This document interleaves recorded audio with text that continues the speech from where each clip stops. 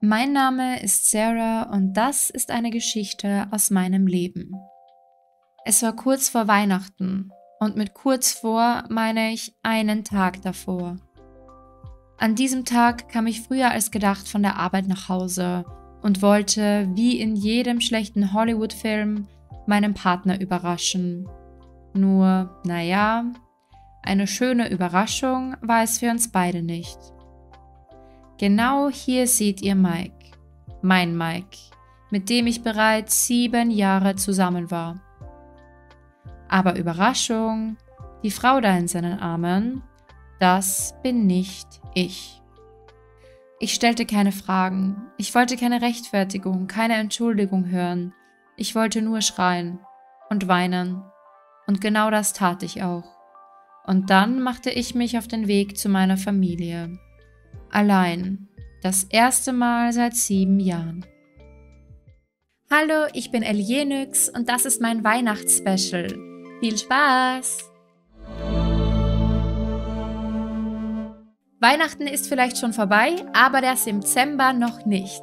Falls du das noch nicht mitbekommen hast, der Dezember ist ein super cooles Projekt, an dem insgesamt 31 CreatorInnen aus der Sims-Community beteiligt sind. Mehr Infos zum Projekt findest du hier in der Videobeschreibung. Schau auf jeden Fall auch bei den anderen vorbei. Es sind wirklich großartige Dinge entstanden, das solltest du auf keinen Fall verpassen. Ich darf euch heute eine etwas andere Weihnachtsgeschichte erzählen. Man könnte meinen, es ist ein kitschiger Hollywood-Film. Und wer das meint, der hat recht. Also lehn dich zurück und genieße die Show. Und als wäre das alles nicht schon genug für einen Tag gewesen, gerate ich auch noch in einen Streit mit einem Fremden. Ich würde falsch parken, meinte er. Hier dürfte man nicht parken. Ihr müsst wissen, normalerweise bin ich eine durchaus ruhige Person, habe meine Emotionen immer im Griff und streite nicht mit Fremden. Aber heute ist nichts normal und deshalb habe ich vielleicht den wildfremden Mann ein wenig angeschrien. Und dann kam ich endlich bei meiner Familie an. Ob ich diese Feiertage wohl ohne Mike überstehen würde? Und hier sind wir jetzt im Spiel und genau in diesem Haus beginnt unsere Geschichte. Hier haben wir die Familie Johnson. Sarah kennt ihr ja schon aus dem Intro und wie ihr auch wisst, ist sie gerade ihre Eltern besuchen. Also hier haben wir Gloria und hier haben wir Daniel. Nur zur Info, dieses Video wird eine Kombination aus Gameplay und Filmsequenzen, einfach damit ich die Geschichte so erzählen kann, wie ich sie gerne erzählen würde. Aber dann hätte ich gesagt, wir schauen gleich mal bei der Familie vorbei. Und hier haben wir jetzt unsere Sarah. Wie wir sehen, sie ist sehr, sehr wütend. Sie hat nämlich die Stimmung koketter Gatte wegen Eifersucht. Der Ehepartner von Sarah hat mit jemand anderem geflirtet. Hat dieser Sim das hinter ihrem Rücken getan? Naja, um ehrlich zu sein, er hat es nicht mal hinter ihrem Rücken getan, denn sie hat es gesehen. Außerdem hat sie jetzt auch noch die Angst, betrogen zu werden. Finde ich sehr spannend, denn sie wurde ja betrogen und hat es sogar gesehen, aber sie hat trotzdem Angst davor. Wie gesagt, Sarah geht es absolut nicht gut. Sie ist jetzt eben alleine bei ihren Eltern und ich weiß, sie ist in diesem Spielstand jetzt Teil des Haushalts. In Wirklichkeit ist sie natürlich nur zu Besuch. Dann wird sie jetzt gleich mal ins Haus gehen und ihre Familie begrüßen. Ihre Mutter sitzt gerade hier und schaut fern. Dann wird sie jetzt mal hingehen und wird sie einmal liebevoll umarmen. Immerhin haben sich die beiden schon länger nicht mehr gesehen. Oh, ich bin mir ziemlich sicher, ihrer Mutter wird sehr bald auffallen, dass irgendetwas ganz und gar nicht in Ordnung ist. Immerhin ist sie unfassbar wütend und das wird ihrer Mutter ganz sicher nicht entgehen. Aber die beiden sind jetzt gute Freunde geworden. Oh, wie süß ist das? Dann unterhalten sich die beiden jetzt einfach einmal. Und natürlich ist das Erste, was ihre Mutter fragt, wo ist denn Mike? Wieso ist Mike nicht da? Wollte Mike nicht mit uns zusammen feiern?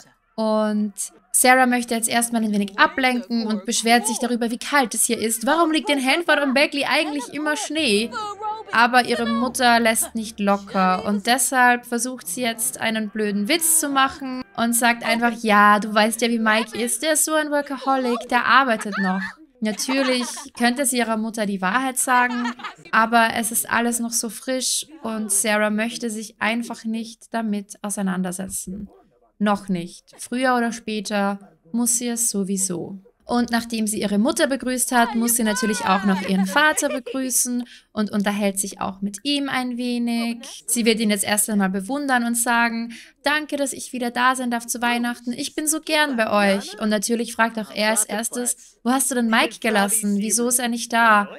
Und ja, irgendwie ist ihr alles zu viel. Sie ist gerade erst angekommen und jeder durchlöchert sie damit, wo Mike denn geblieben ist. Und sie kann nicht genau sagen, warum, aber irgendwie ist es ihr auch peinlich, dass sie betrogen wurde.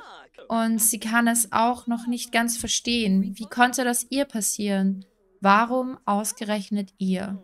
Und jetzt wird sie auch noch von ihrer Schwester angerufen. Hallo Sarah, ich werde jetzt einfach mal alles ignorieren, was da steht. Ihre Schwester ruft sie einfach an und sagt, hey, Mom hat mir Bescheid gesagt, du und Mike kommt heute schon, seid ihr schon da? Und ja, schon wieder spricht jemand über ihren untreuen Verlobten. Und dann sagt sie so, ja, ja, wir sind schon da, aber ich muss jetzt erstmal eine Runde spazieren gehen. Vielleicht können wir uns ja später sehen. Und dann beschließt Sarah einfach mal ein bisschen durchs Dorf zu spazieren. Sie muss einfach irgendwie einen klaren Kopf bekommen und deshalb reisen wir mit ihr jetzt mal hier zum Nationalpark und sie verbringt ein wenig Zeit in der Natur.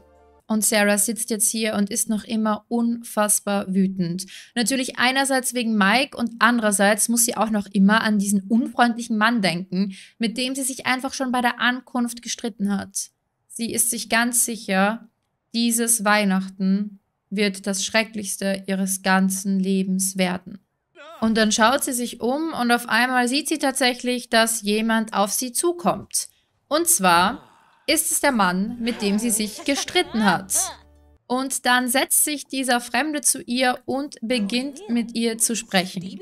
Die beiden unterhalten sich einfach und er versucht sie aufzumuntern und irgendwie funktioniert das erst so gar nicht. Also sie ist nicht weniger wütend, sondern sie ist einfach nur genervt. Jetzt kommt dieser Fremde der sie vorhin angeschrien hat, mit dem sie sich gestritten hat und meint, er muss sie trösten. Sie wollte doch einfach nur allein und wütend auf einer Bank im Park sitzen. Warum kann er das nicht respektieren?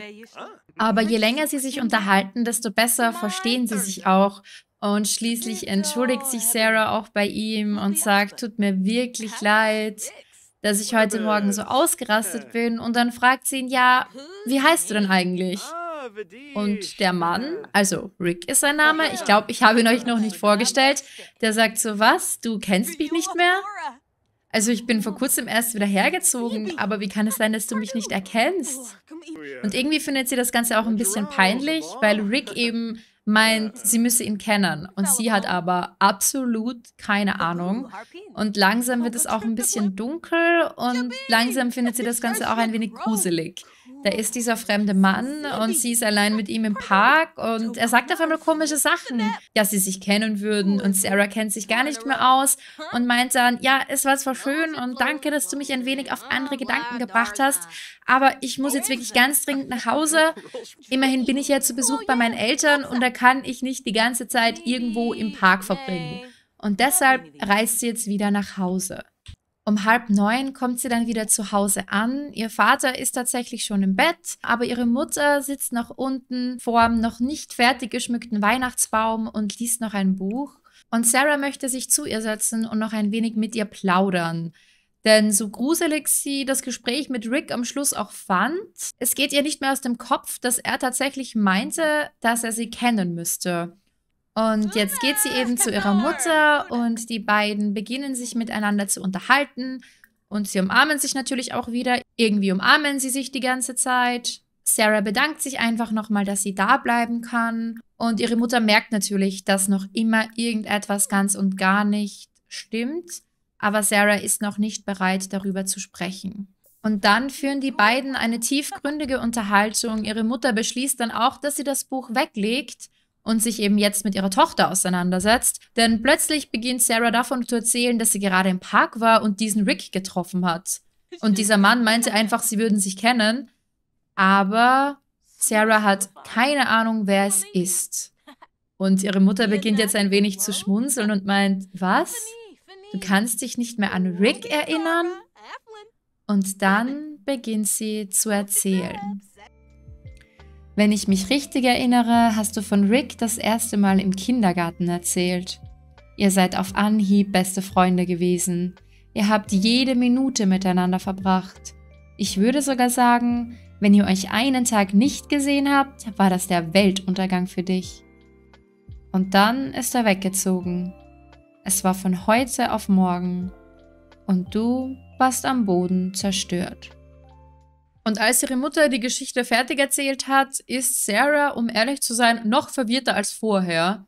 Denn sie kann nicht verstehen, wie sie diesen Rick vergessen konnte. Und so langsam erinnert sie sich an alles und ist aber eigentlich nur noch verwirrt. Tatsächlich hat sie sogar ein bisschen vergessen, was mit Mike vorgefallen ist. Und das ist natürlich ein bisschen seltsam, weil sie hat den ganzen Tag versucht, nicht daran zu denken und hat es nicht geschafft. Und als sie jetzt aber die Geschichte von Rick aus ihrer Kindheit gehört hat, hat sie es tatsächlich geschafft, Mike für einen kleinen Augenblick zu vergessen.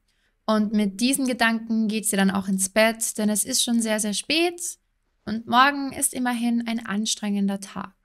Am nächsten Morgen wacht Sarah dann so gegen halb zehn auf. Tatsächlich hat sie gar nicht so schlecht geschlafen. Und dann setzt sie sich in die Küche, wo ihre Mutter tatsächlich schon Frühstück zubereitet.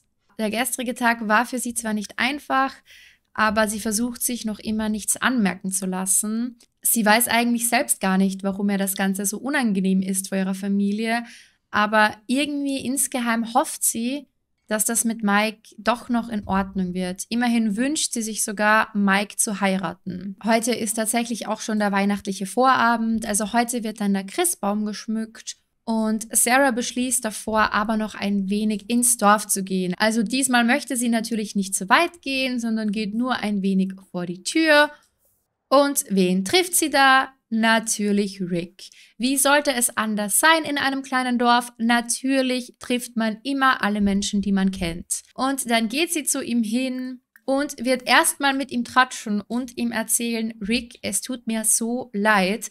Mom hat mir gestern nochmal alles erzählt. Ich habe keine Ahnung, wie ich dich vergessen konnte. Ich weiß es wirklich nicht. Und natürlich ist er absolut nicht böse. Er freut sich einfach nur und dann schwärmen die beiden noch ein wenig über die Weihnachtsfeiertage. Immerhin hat Sarah auch schon den perfekten Pullover dafür an. Oh mein Gott, wer bist du und wie siehst du denn aus? Wow, ich habe keine Ahnung, warum ich solche Sachen in meinem Spiel habe. Aber okay. Auf jeden Fall freunden sich die beiden jetzt noch ein wenig besser an und unterhalten sich über die Vergangenheit, über die Zukunft, wie es ihnen momentan geht. Sarah teilt Fotos und erzählt, dass sie in San Maishuno lebt und äußert dann auch nochmal Zweifel über die Hochzeit und sagt, ja, eigentlich bin ich ja noch mit Mike verlobt. Aber ich weiß auch nicht. Immerhin, er hat mich hintergangen. Ich weiß nicht, wie ich vorgehen soll. Und Rick meint natürlich, hey, er hat dich betrogen. Bitte mach sofort Schluss mit ihm. Und sie findet das halt nicht so cool, weil sie sich halt denkt, das ist nicht deine Beziehung, sondern meine. Und beleidigt ihn einfach mal ein bisschen und sagt, das ist nicht okay. Du kennst Mike doch gar nicht. Mike ist ein guter Mensch. Er hat nur einen Fehler gemacht. Und in Wirklichkeit möchte er natürlich nur das Beste für sie, aber sie sieht das nicht ein. Und so trennen sich ihre Wege leider wie gestern auch ein wenig negativ. Und sie sagt, ich muss jetzt gehen. Schön oder auch nicht so schön, dass wir uns gesehen haben. Vielleicht treffen wir uns ja bald wieder. Nach dem eher unangenehmen Wiedersehen mit Rick hat Sarah den Tag einigermaßen hinter sich gebracht. Und jetzt haben wir 18 Uhr und zwar fängt jetzt ein Ereignis bald an. Hier heißt es Hausparty. In Wirklichkeit wird die Familie jetzt gemeinsam den Christbaum schmücken. Und zwar die ganze Familie, denn dazu wurde auch die Schwester von Sarah eingeladen und ihr Kind und ihr Mann. Dazu ziehen sich auch alle schön an. Es gibt ja solche Familien, also meine Familie ist es ehrlich gesagt nicht.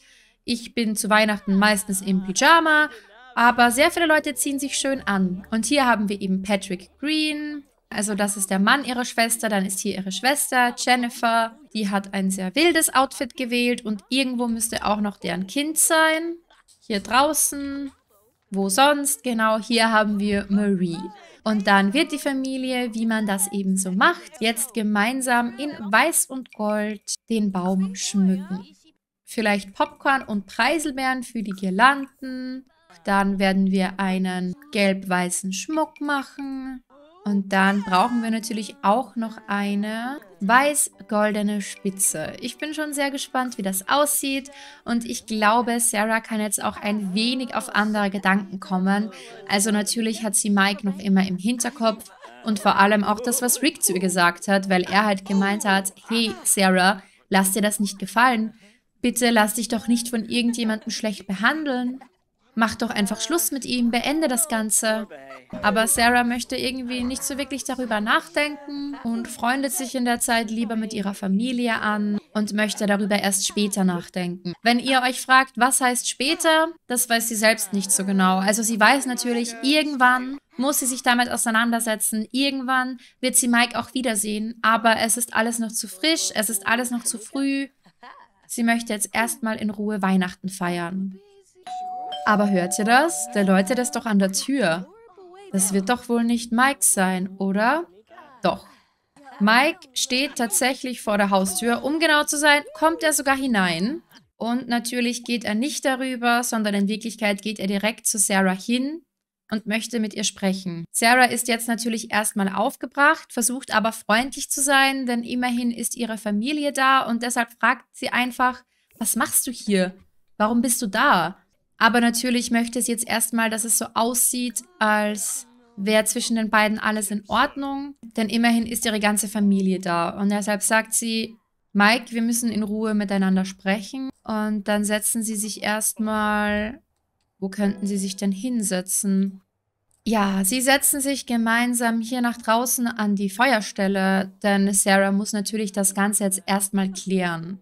Während die Party da drinnen weitergeht, führen die beiden da draußen jetzt also ein ernsthaftes Gespräch. Und wie wir sehen, Sarah ist wirklich wütend. Also die beiden streiten miteinander, die beiden werfen sich alles Mögliche an den Kopf und Sarah sagt, wie kannst du jetzt einfach hier auftauchen? Was glaubst du eigentlich, wer du bist? Du hast mich betrogen. Und er meint natürlich, ja, das war ein Fehler, das wollte ich doch gar nicht und irgendwie bist auch du schuld. Also du bist schuld, dass ich dich betrogen habe. Du hast mir keine Aufmerksamkeit mehr geschenkt. Und Liza, die war einfach da für mich. Sarah zeigt sich davon wenig beeindruckt. Und er meint jetzt, Sarah, ich möchte dich trotzdem noch heiraten. Und was glaubst du eigentlich, dass du jemand Besseren findest als mich? Und nach ewigem Diskutieren beschließt sie schließlich ihm wieder zu verzeihen und lässt sich nochmal auf ihn ein, denn irgendwie versteht sie das ja auch, dass er sich allein gefühlt hat. Sie hat sehr viel gearbeitet, hat sich kaum um ihn gekümmert und ihm keine Aufmerksamkeit geschenkt. Und deshalb denkt sie sich, wir haben sieben Jahre zusammen durchgehalten.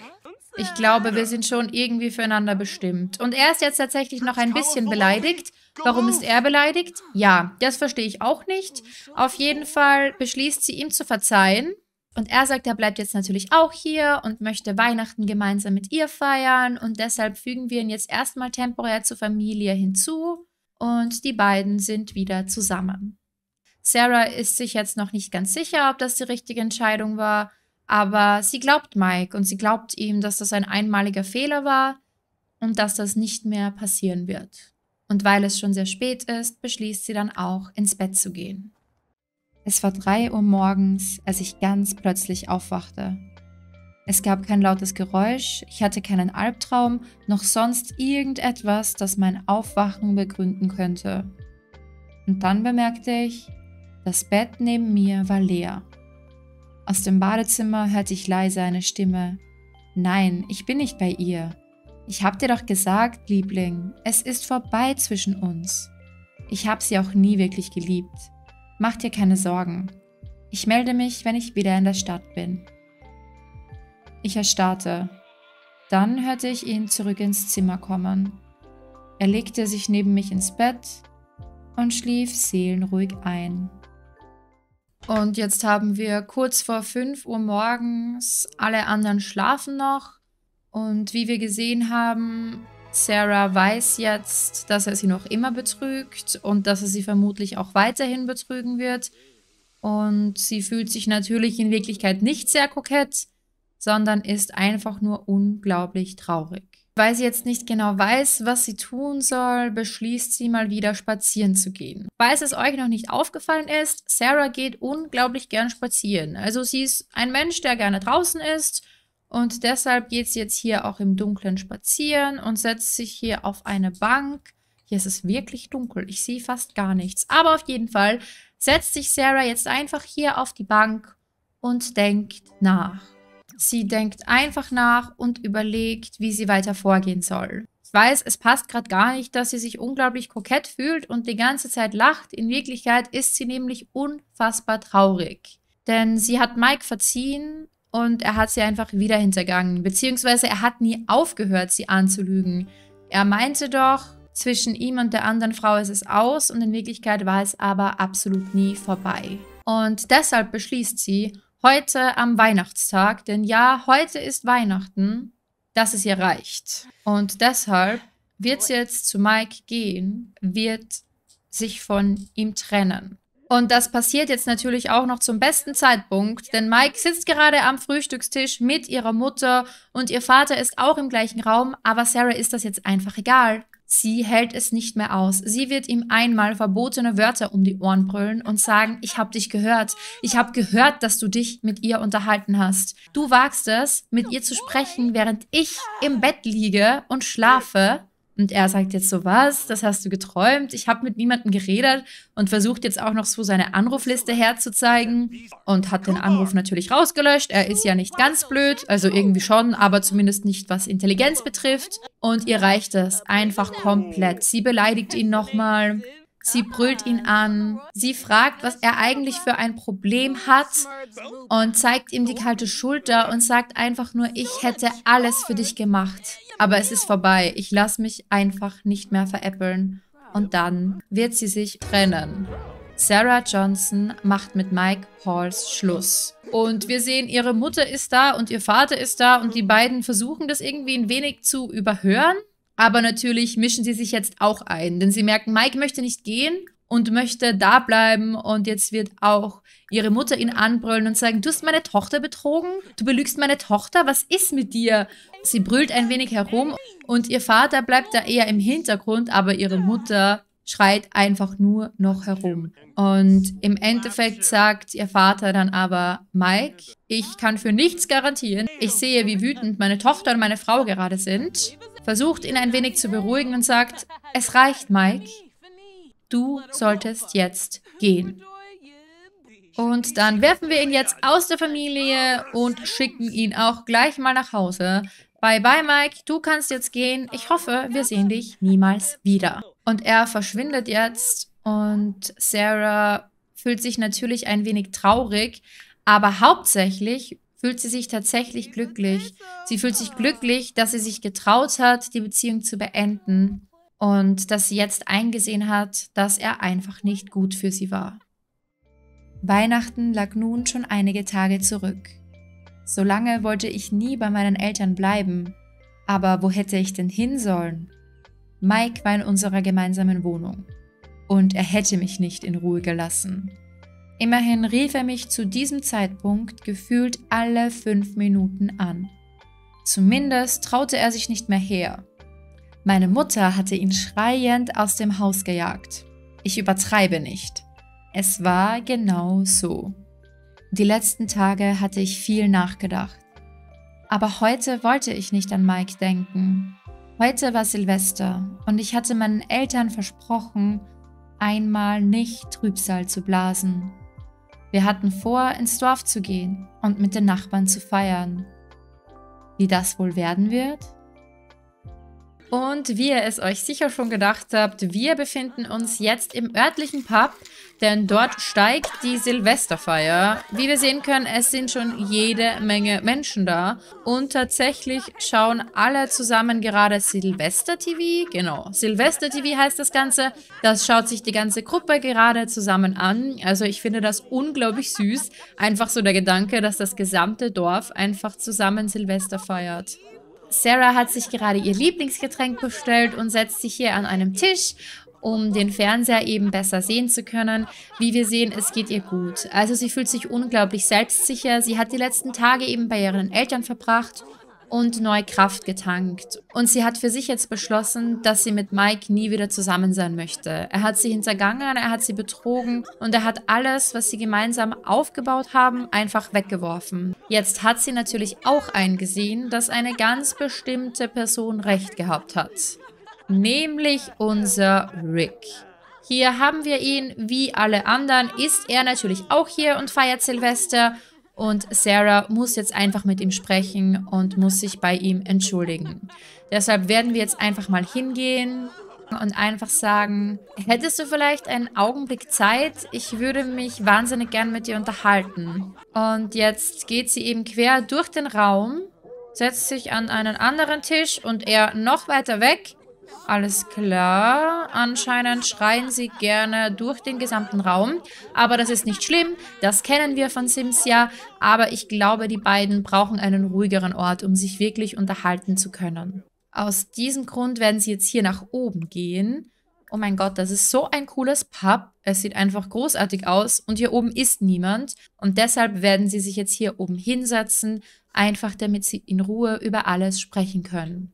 Und hier sitzen die beiden jetzt hier an der Bank und Sarah erzählt ihm alles. Sie erzählt, dass sie Mike zuerst vergeben hat und dass er sie einfach nochmal hintergangen hat. Und dann betont sie einfach, Rick, du hattest sowas von recht. Er ist so ein Mistkerl. Und ich hätte ihm nicht verzeihen dürfen. Und Rick ist natürlich überhaupt nicht nachtragend, denn es ist nun mal schwer, sich einzugestehen, dass die Person, die man eigentlich gern hat, einen nicht gut behandelt. Und das ist eben nicht einfach. Und deshalb hat es bei Sarah eben etwas gedauert. Dann wird sie einmal Silvester-Konfetti werfen und wird ihm noch eine unglaubliche Geschichte erzählen. Und die beiden verstehen sich einfach unheimlich gut. Und langsam wird ihnen irgendwie klar, dass vielleicht doch mehr zwischen ihnen ist, als sie gedacht haben. Und jetzt ist es kurz nach Silvester und Sarah traut sich, ihn einmal anzuflirten und sagt, ganz ehrlich, Rick, ich glaube, ich war schon in der Kindheit ein bisschen in dich verliebt. Und während die beiden sich hier ihre Gefühle füreinander gestehen, haben wir jetzt sogar auch noch Hintergrundmusik bekommen. Hier spielt die gute Sarah Scott auf der Geige und Candy Bear spielt Gitarre. Das habe ich tatsächlich wirklich nicht eingefädelt. Das hat sich das Spiel selbst ausgedacht. Und wie es eben zu einem kitschigen Hollywood-Film gehört, jetzt hier an Silvester, kurz nach 12 Uhr, mit wunderbarer Geigenmusik im Hintergrund, werden die beiden jetzt den ersten Kuss miteinander erleben und gehen somit einen Schritt näher Richtung Happy End. Nein, Sarah, du denkst nicht schlecht über Rick, du magst Rick. Und jetzt erleben sie den ersten Kuss miteinander. Oh, wie süß! Und Candy Bear ist natürlich ins Bild gelaufen. Und nun hat Sarah endlich einen Partner, der sie wertschätzt. Und nun, zu zweit, leben sie glücklich bis ans Ende ihrer Tage. Diese Geschichte liegt nun zehn Jahre zurück. Es ist viel passiert. Es gab viele Höhen und Tiefen, aber nichts musste ich mehr alleine durchstehen. Denn seit diesem Tag ist Rick an meiner Seite. Wenn ich etwas daraus gelernt habe, dann ist es folgendes. Das Leben ist schön und wir alle verdienen es, glücklich zu sein. Lass dich nicht schlecht behandeln, egal von wem. Du verdienst mehr.